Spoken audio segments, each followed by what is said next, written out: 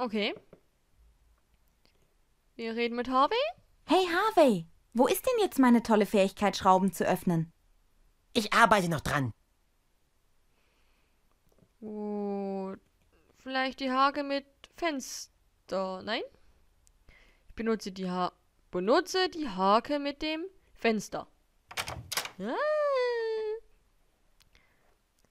Gut, dann schalten wir jetzt auf Harvey wieder um. Und gehen aus dem Fenster, oder? Ähm, Edna, hilfst du mir kurz hoch? Ja, ich denke, das kriege ich hin. Yay!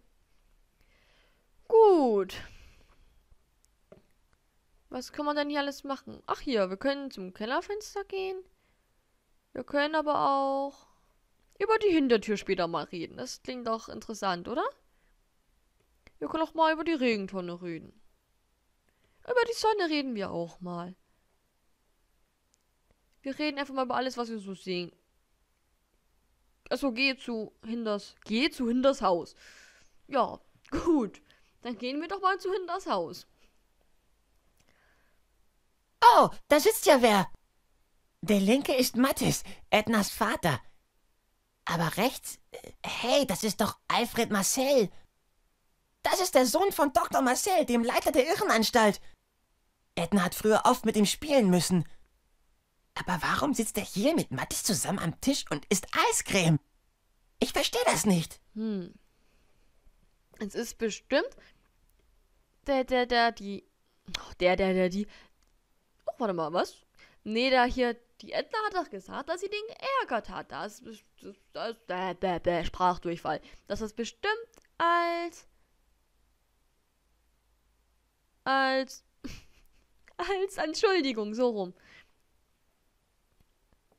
Artikel 1, Artikel 2.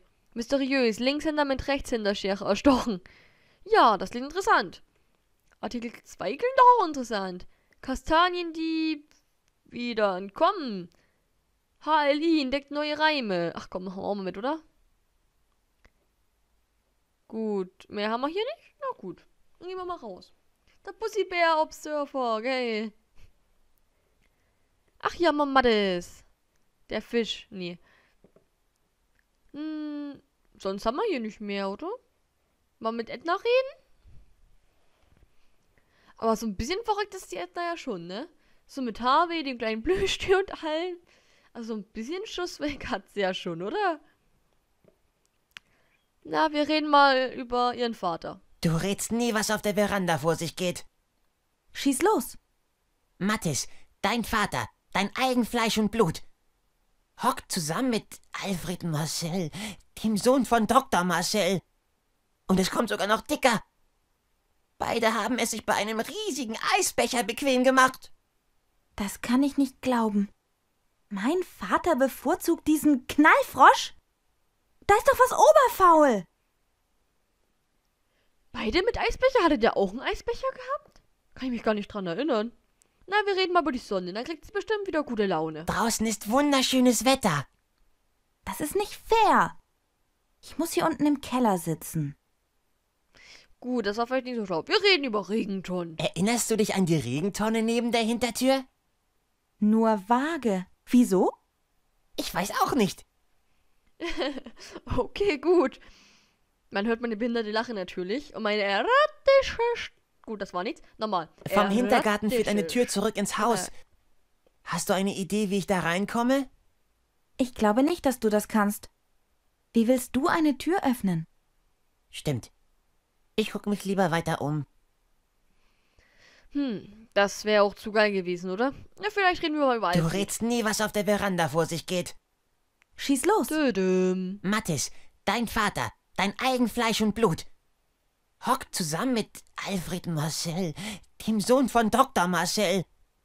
Und es kommt sogar noch dicker. Beide haben es sich bei einem riesigen Eisbecher bequem gemacht.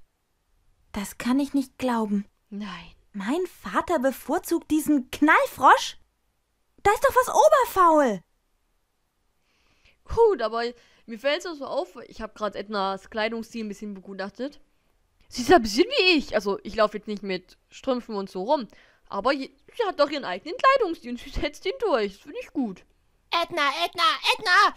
Du glaubst ja nicht, was in der Zeitung steht. Man darf endlich Isel auf Oggen reimen? Äh, ja. Yippie! Dann kann ich endlich mein Gedicht über Liesel und ihre Doggen beenden. Isel und Ockenreim? Gut, Liesel und ihre Docken. Ein tolles Gedicht. Wir hatten noch kein Gedicht über Liesel und Docken geschrieben. Rat mal was. Der Kastaniendieb ist wieder ausgebrochen. Oh nein, schon wieder? Das letzte Mal waren es drei Bäume, allein in unserer Straße. Die Polizei geht davon aus, dass er mit Hilfe eines abgebissenen Fußnagels entkam. Im Ernst? Hm, ein abgebissener Fußnagel sollte ja nicht so schwer zu beschaffen sein. Und jetzt? Okay, ich will noch Artikel 3 lesen. Dann Ich habe gelesen, dass ein Linkshänder mit einer Rechtshänderschere ermordet wurde. Das ist aber ausgesprochen seltsam. Da wollte irgendjemand ein Statement abgeben, wie mir scheint. Okay, gut, geil. Wir gehen mal auf, Edna. Vielleicht haben wir jetzt unseren Fußnagel. Tatsächlich, Fußnagel.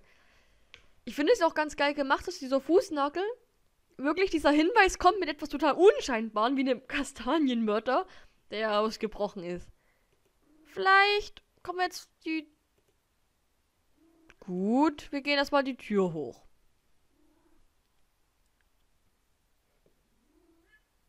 Und jetzt müssen wir die ja eigentlich mit dem Fußnagel Da wegmachen. bin ich oder? aber mal gespannt, ob das wirklich funktioniert. Ich kann's kaum glauben, es hat wirklich geklappt.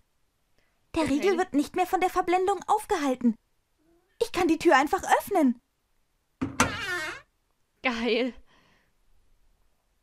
Das ist wirklich unsere alte Küche.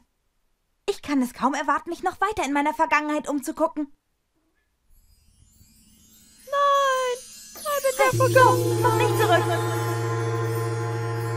Edna! Geh nicht ins Licht! Edna? Oh Gott. Doch, sie sieht doch ein bisschen durchgeknallt aus. Nein! Verflucht. Gerade war ich dabei, mich zu erinnern. Es tut mir leid, an mehr konnte ich mich leider nicht erinnern.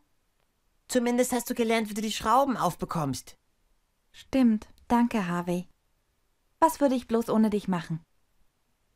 Aber um jetzt mal logisch zu denken. Er ist eine Produka Produktion ihres Unterbewusstseins. Das habe ich jetzt schon verstanden.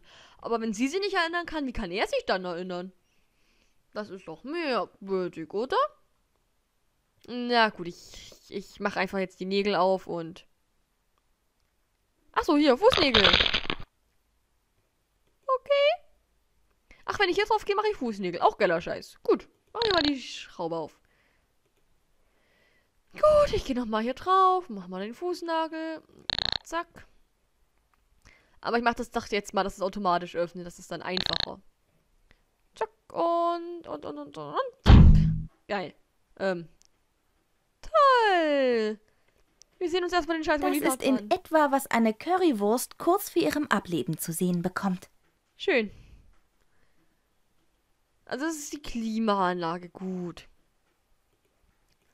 Vielleicht weiß Harvey Hallo, was. Harvey. Hallo Edna. Was gibt's?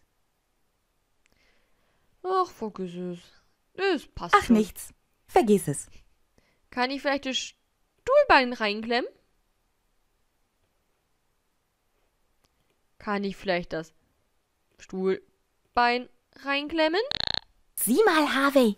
Ich habe den weltersten Stuhlbeinanspitzer erfunden. Cool. Wenn wir hier raus sind, scheffeln wir Millionen. Was auch immer man ein Stuhlbein an Spitzer braucht. Mal üb. Erstmal zur Zelle, ich brauche erstmal einen Überblick. Hm. Wir haben das Gitter abgemacht. Die Klimaanlage war ja aus sozusagen. Das heißt, sie hatten es ja der Fuzzi angemacht. Da kann uns jedoch der Fuzzi bestimmt noch wieder ausmachen, oder? Hey! Hallo! Na, Süße, was gibt's diesmal? Na, ich wollte mich eh nochmal mit dem Typen unterhalten. Ich finde ihn ganz nett. Ähm, vielleicht lass mich raus. Lass mich raus! Das ist ein Notfall! Oh, wirklich? Äh, ich hab Hunger. Ich habe Hunger.